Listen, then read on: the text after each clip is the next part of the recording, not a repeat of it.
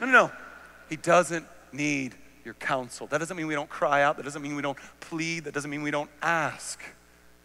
It means we have to see him for who he is, the depths of his riches and his wisdom and his knowledge, and that he's inscrutable in his sovereign reign because he knows more than we could ever know, and that it can be trusted that he is good. We know that in knowing He is working all things for our good and His glory, if you know that, you know there's no panic in the Godhead. So I, I, need to address this because it's real life. Like some of you, really bad things have happened. And so when you hear a sermon like this and you've been abused, or you hear a sermon like this and you got sick, you hear a, a sermon like this and something really dark happened to you, and you're like, I'm trying to get that. I'm trying to understand that, Chandler. But I don't know. I don't know if I can believe that. Because if that's true, I'm trying to reconcile trying to reconcile in my head that this sovereign king is good and he allowed this. If you're telling me he could have stepped into space, if you're telling me he could have stopped this, if you're telling me that he is sovereign over all things, especially events, in his wisdom and knowledge, I do have some scrutiny. Because what happened to me was terrible. And I hadn't hardly recovered. I don't know that I ever will recover.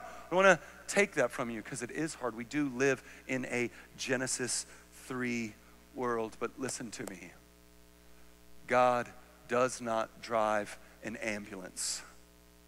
He does not show up after and try to put the pieces back together. God wounds us like a surgeon and he can be trusted because we look to the cross of Christ. And in looking at the cross of Christ, our confidence that he is for us and not against us grows as we know he's at work in the mess. In fact, the Bible is just one of the grittiest, nastiest books I've ever read.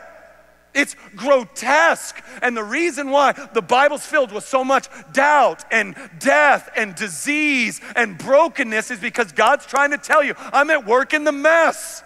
It's not that there won't be one, it's that I'm with you in it and I'm redeeming and reconciling and working. And I have not abandoned you and I'm not showing up late. I'm with you, I am for you. Look to the cross.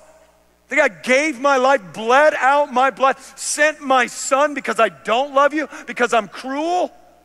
No, I'm for you. I am not against you. I am with you.